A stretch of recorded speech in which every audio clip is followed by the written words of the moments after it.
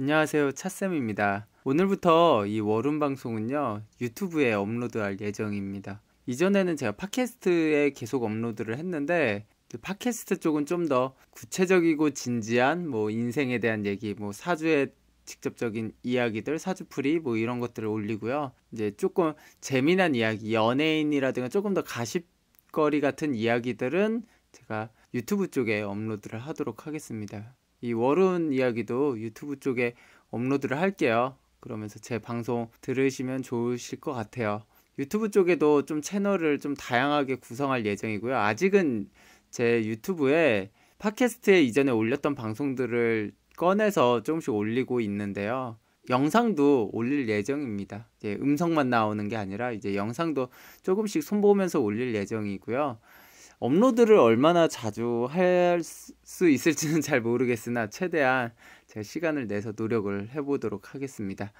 먼저 이제 목일간의 신미어를 어떻게 보내는지 알아보기 전에 신미어를 좀 분석을 해야겠죠. 이 신미라는 물상 부분을 좀 정확히 분석을 하고 접근을 하면 좀 더 해석에 도움이 많이 됩니다. 먼저 신미 뭐가 떠오르세요? 이 미토 같은 경우는 곡식 창고 같은 거거든요. 아니면 벼가 이렇게 고개를 숙인 모습, 뭐 쌀 이런 거 잔뜩 들어있는 창고입니다. 이제 뭔가 수확을 앞두고 있는 벼의 모습이기도 하죠.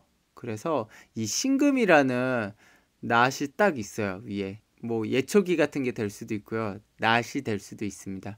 그걸로 딱 편하게 수확된 것을 정리하는 달이에요. 이 신미월은.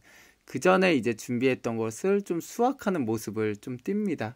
근데 당연히 뭔가 농사가 지어져 있어야겠죠. 이제 각자 뭔가 씨앗을 뿌리고 잘 길렀다면 요번 달에 좀 좋은 수확을 거둘 수 있고요. 만약에 뭔가 씨도 뿌리지도 않고 별것도 안 했다. 라고 하면은 당연히 수확하는 양이 적을 수밖에 없습니다. 이 신금이 같이 천간에 놓여 있기 때문에 수확하는 것은 굉장히 좀 그나마 좀 쉽게 수확을 할 수 있어요. 근데 명심해야 될 게 이게 곡식이라는 것을 수확한다는 거에 굉장한 의미가 있습니다. 어떤 의미가 있을까요? 왜냐면 곡식이라는 거는 내가 그냥 심어놓고 내버려 둔다고 이게 잘 자라는 게 아니거든요.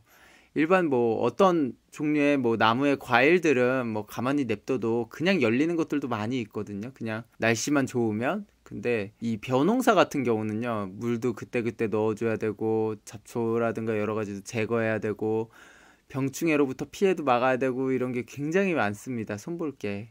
이런 것들을 잘 했다면 꾸준하게 자기가 잘 했다면 좋은 수확이 있을 거리라 생각해요. 그럼 먼저 목일간들에 대해서 이야기를 하도록 하겠습니다. 먼저 목일간에게는요, 신금은 관성이 되고요, 미토는 재성이 됩니다. 어, 이제 뭔가 수확해야 된다는 느낌이 딱 들기도 하죠. 이 미토 때문에 그런지. 그래서 뭔가 이 관성의 느낌으로 딱 수확하는 느낌이 들어요. 그 전에 내가 뭔가 일을 하고 있었다. 여기서 하, 일을 하고 있었다는 얘기는 뭐 직장을 이야기하는 건 아닙니다.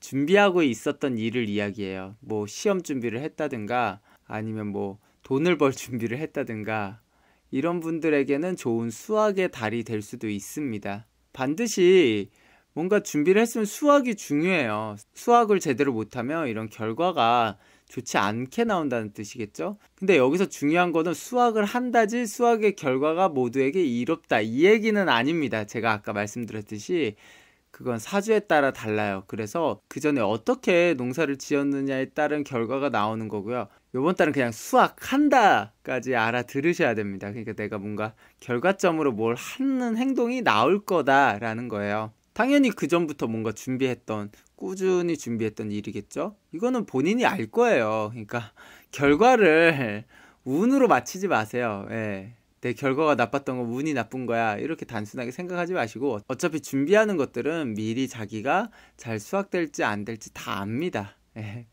그렇기 때문에 그 전에 잘 하신 분들은 어떤 수확을 거두는 달이니까 뭔가 잘 하실 거라 생각이 들어요. 그래서 그런지 우리가 수학할 때, 뭐 수학할 때가 뭐가 있을까요? 우리의 삶 속에서 뭔가 시험 같은 거잖아요. 시험 공부를 꾸준히 하고 해 나가다가 시험 전날에 대부분 어떻게 하세요? 일찍 주무시나요? 그렇진 않죠. 그러니까 밤새도록 또 열심히 또 스파트를 낸다고요. 공부를 합니다. 벼락치기를 할 수도 있고요. 이런 식으로 뭐가 임박해 있으니까 그것을 좀 무리하는 행동으로 나온다는 뜻이에요. 더 약간 예민해지고 스트레스 받고 불안하고 마음의 부담감도 느끼고 이게 다 공통적으로 작용하는 달입니다. 구체적으로 좀 마음의 불편함이 많이 생겨요. 이 미토 같은 경우는 목의 무덤을 뜻하거든요. 그러니까 내가 목일간인데 나의 무덤을 뜻하는 겁니다.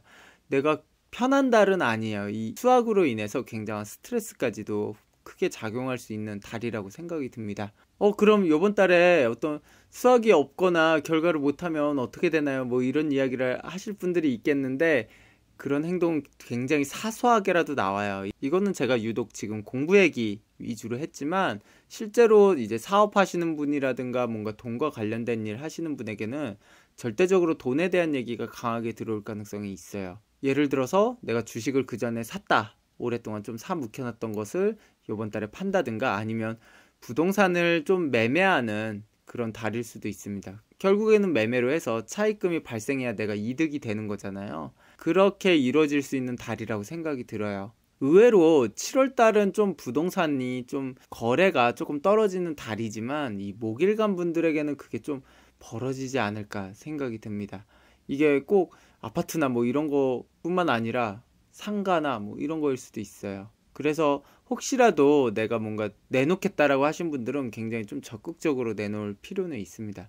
거래가 안 된다 생각하지 마시고요. 굉장히 좀 공격적으로 거래를 하시면 좋을 것 같아요. 결국에 목일간 분들은요, 이 결과점이 일어나는데 각 사주마다의 사이즈나 상황 이런 거에 따라서 했던 결과점이 나온다는 이야기를 했어요. 내일은 화토일간들이 이 신미월을 어떻게 보내는지 이야기를 해드리도록 하겠습니다.